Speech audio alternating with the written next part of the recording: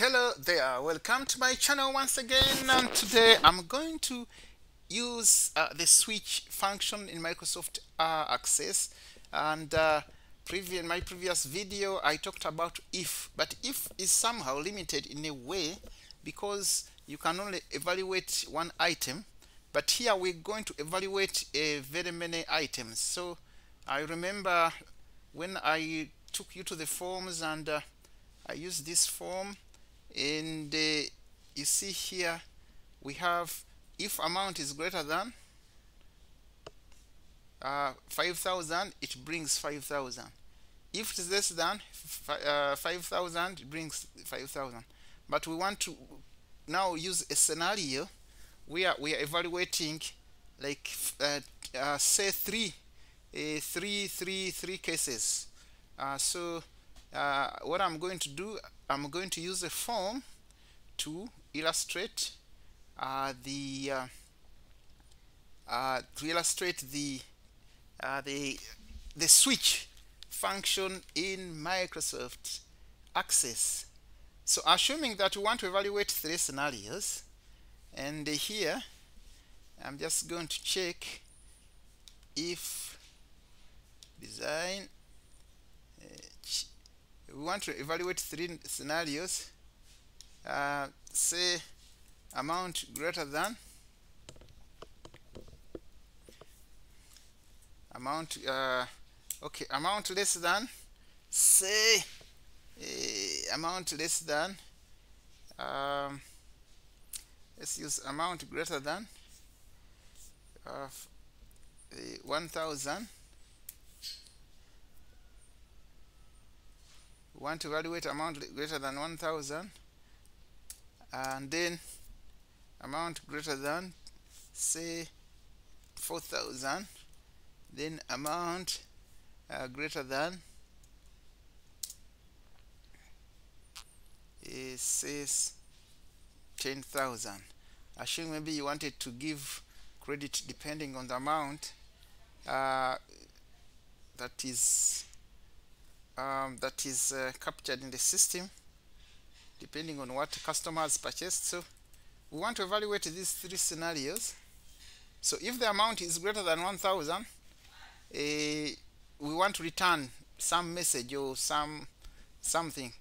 Uh, but however if it is between 1000 and 4000 again we uh, uh, rather if it is uh, greater than 1000 we want to return a message.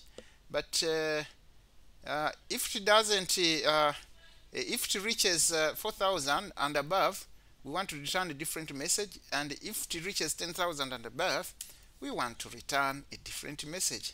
So in this case the if can work but it is very complicated and it can get confusing because we, you have to use what we call nested ifs. So here in this case you use what we call a case. The case is uh, case function is very very very interesting. So here I'm going to say I'm going to uh, rather use a switch switch you know I'm, I'm a programmer and uh, uh, in some programming languages called uh, it's called case but in this in this one uh, we call it switch switch. Please use switch like this switch the switch uh, we, we use turn on and off lights in our in our houses. So there's as simple as that switch. So you open uh, brackets. So you just type amount. It's very interesting and simple. Amount. If amount uh, greater than or equal to 1000 you can just well say that uh, you want to return what we call a uh, uh, let's say return some text greater greater than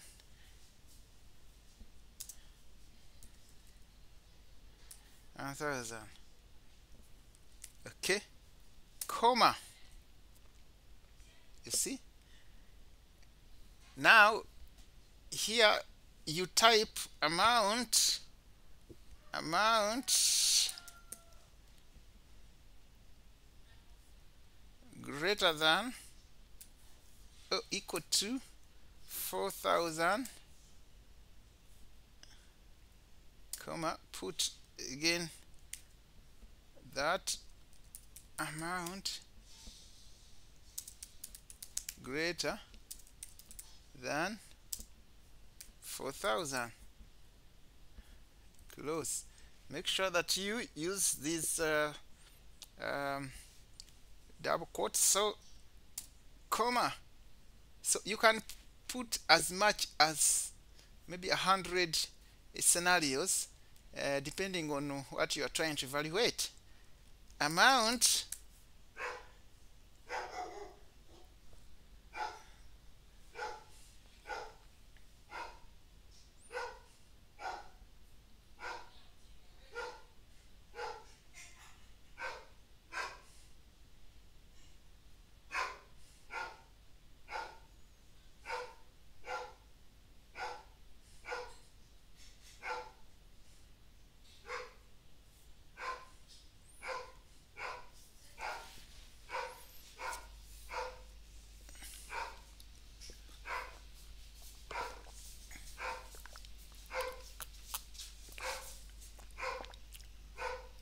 senkyusa ani azzo yatawanya embwa because i can't do anything now because of that dog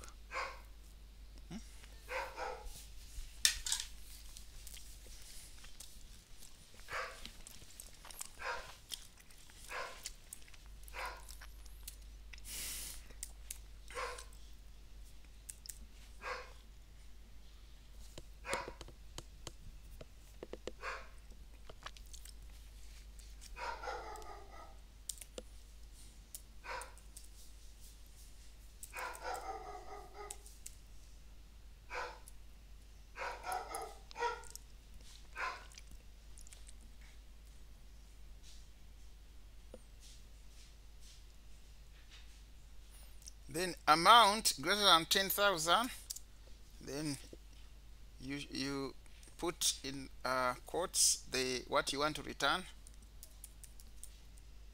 Amount greater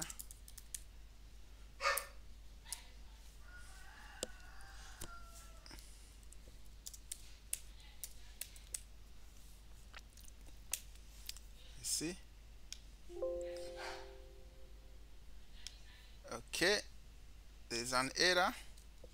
I said I will not remove the errors from edit them out from the video because they also so I was forgetting to put they also help you to learn. I was, I was forgetting to put the closing uh, quote. So you, this is the switch function. You can see how it works.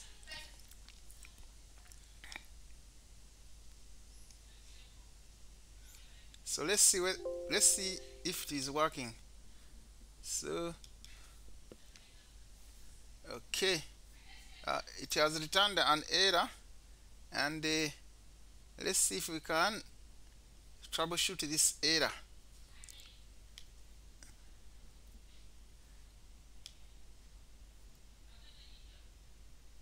So you know the error is here. Amount should be amounts. You see the error here? Okay um, okay you realize that my uh, uh, my uh, concept was not working because first of all uh, I forgot to put an S here. And also had forgotten to uh, add the uh, closing quote. So make sure that this amount amount is well referenced here. So it is amounts here and this is what you should also use here. If you're evaluating unit price this is what you should do use. So um, you can see uh, my formula my formula is is coming out and uh, this is the the, the, the, the switch function. And just for you to take note uh, ladies and gentlemen when you are evaluating such a scenario start with the highest amount 10 and then you go to 4 and then 1000 else you will get wrong uh, information because you find a scenario whereby if the amount is greater than uh, 1000 even if the amount is 8 uh, maybe 200,000 it, will, it will return 1000 message. Uh, it will just say amount is greater than 1000 so you, for greater than you start with the big amount. For less than you start with the small amounts if you are to get the right information. So this is the the switch formula here uh, just pull it off and uh, probably put it in Word such that it can easily be uh, it can easily be seen you can easily see it. So this is the function. You see this is how it looks like. Uh, you can expand it switch eh? this is how it looks like. So this switch checks out and it brings uh, these uh, uh, these the, these different um, out outcomes. And let me see now if it works. Save yes. And then I check it out see if it works. Yes 10,000 greater than 10,000 600,000 yes it is greater than 10,000 2,500 is greater than 1000 so it's evaluating uh, based on the set standards so 60,000 we didn't put any standard. Uh, 40,000 is greater than 10,000 you see so if you change this one set to 300 you'll get greater than uh, 4,000 I think you get the logic ladies and gentlemen. So this is how we can use case case scenarios. Uh, just to make it more interesting assuming that you wanted to maybe uh, capture tax uh, assuming that uh, we wanted to show the tax the tax payable and uh, assuming that anything greater than 10,000 the tax is I'm just going to make slight change here. The, the, the tax is 20 percent uh, and then amount greater than 4,000 instead of returning text now we want to return numbers. The tax is 10 percent. Yeah? because 4,000 is a small amount so the tax becomes small. And then for anything uh, at 10,000 the tax is I'm returning now maybe 2 percent.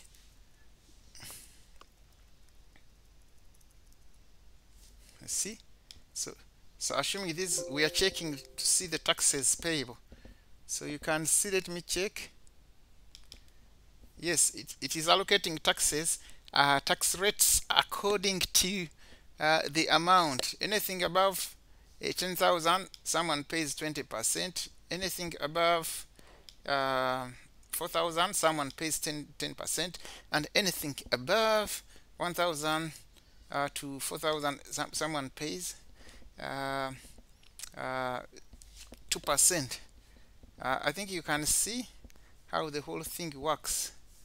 Yeah and you can apply this as well in queries. Let me try to go to queries and put the same the same thing.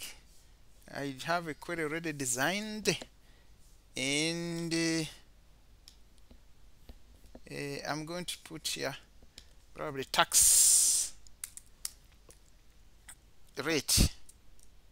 Uh, you see the tax rate? Now we are going to evaluate tax rate. And uh, uh I'm going to copy this. Uh, but here I can say 20% I'm going to copy this formula rather than typing it again. It's the same thing. It will work. And uh, for amount greater than 10,000 20% for amount greater than or equal to 4,000 10% and then for amount for amount uh, greater than or equal to 1,000 2% so assuming that you're working on a payroll system and you want to evaluate tax payable for each employee. So this is how you do it so let me see if it is going to work. Uh, you type this in here in Microsoft Access and uh, you type like that tax rate semicolon then uh, drop it there like that. Let me see I don't need the equal sign at the after tax rate. Uh -huh. that is okay. And we show here tick this such that it shows up. I save this. So you can see. Let's check. You see tax is here 20 here 20 here 2 depending on the amount. So I'm just trying to show you uh, how to apply switch. And uh, for this 90 or less you could as well say those ones don't pay taxes because the amounts are small. Okay. They don't pay taxes because the amounts are small so we can also tweak it there. And say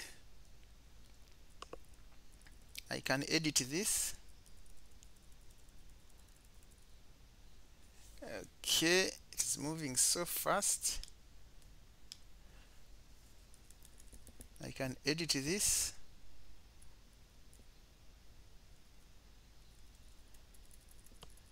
Such that I have a scenario where I say if amounts amounts uh, greater than or equal to zero then tax rate is zero.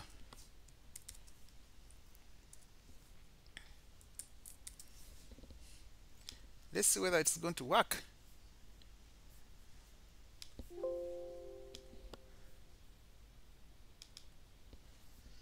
Yes it is working very well. And uh, it even brings here less than less than this column is for if I use if but here I'm using uh, the switch. Switch switch. So uh, so that's how you use uh, the switch. You can as well apply it in a, um, in a, a, a table in a, in a not a table. You can apply it in a report. You can go to report wizard and we see how we can apply I'm going to replace this one and the and they put uh, the switch function. And we see how it works. Uh, uh, to save time I'm just going to copy this. Copy the whole of this. Copy